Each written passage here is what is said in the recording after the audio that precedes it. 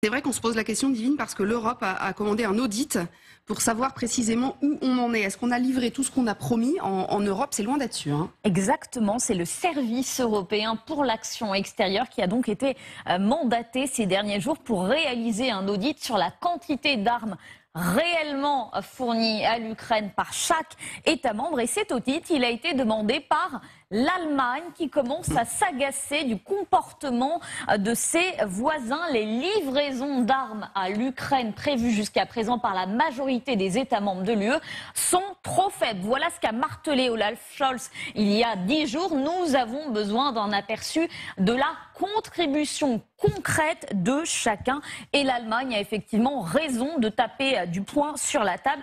Berlin est le deuxième donateur le plus important après les États-Unis. Depuis le début de la guerre, l'Allemagne a promis plus de 17 milliards d'euros d'aide à l'Ukraine, ce qui en fait le pays européen le plus généreux. Avant le Royaume-Uni, il y a également la Norvège, ensuite le Japon, le Canada, puis la Pologne en septième position avec 3 milliards d'aides militaires euh, promis. La France n'arrive qu'à la 12e place avec eh bien, 500 millions euh, d'aides militaires promises à l'Ukraine euh, l'Institut de Kiel. Alors Sébastien Lecornu avait démenti ces chiffres en expliquant que la France aidait indirectement, notamment via des mécanismes européens. Et selon un rapport parlementaire publié il y a quelques jours, en réalité, l'aide militaire de la France à l'Ukraine s'élève à 3,1 2 milliards d'euros. Ça reste faible, ça reste faible notamment euh, comparé eh bien, à d'autres pays. Si on regarde par exemple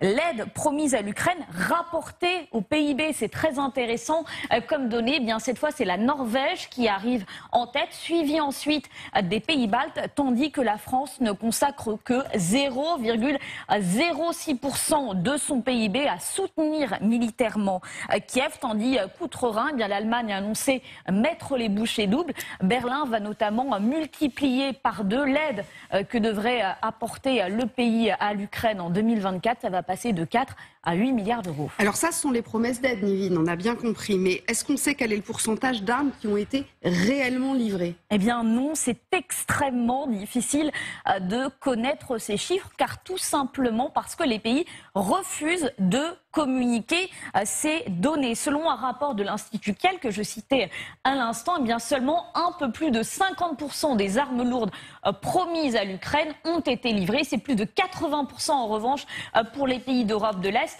Ce rapport, il date de cet été. Depuis, aucune donnée n'a été communiquée. Le but de l'audit, justement, euh, commandé par Bruxelles, c'est de lever le voile sur ces chiffres. Problème, les États n'auront pas l'obligation de fournir des données complètes. Alors, qui va jouer le jeu et qui va être transparent? Eh bien, la réponse dans quelques jours avant le 1er février prochain à l'occasion du sommet extraordinaire des dirigeants de l'ONU, l'UE, pardon, qui va justement porter euh, sur le budget européen et l'aide financière à l'Ukraine. Merci Nivine.